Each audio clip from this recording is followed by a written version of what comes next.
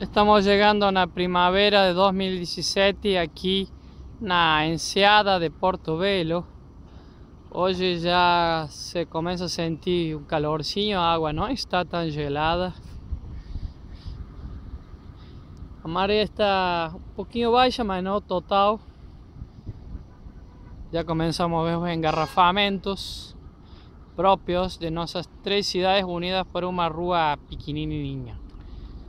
Portobelo, Bombiñas e Itapema carecen de un buen sistema de tránsito y un engarrafamiento es curriqueiro.